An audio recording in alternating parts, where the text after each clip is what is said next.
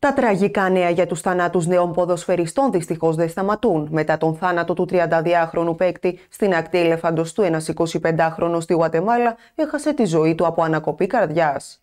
Ο Μάρκος Μενάλδο από τη Γουατεμάλα υπέστη καρδιακή ανακοπή στην προπόνηση και κατέληξε.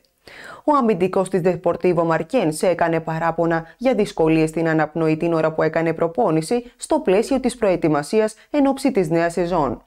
Στον άτυχο παίκτη έγινε κάρπα και διακομίστηκε άμεσα στο νοσοκομείο όπου και άφησε την τελευταία του πνοή.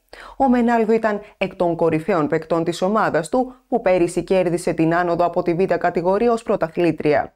Είναι δυνατό και σοκαριστικό γιατί δεν χάνει ένα παίκτη αλλά ένα φίλο, είπε συντετριμένος ο πρόεδρος της ομάδας.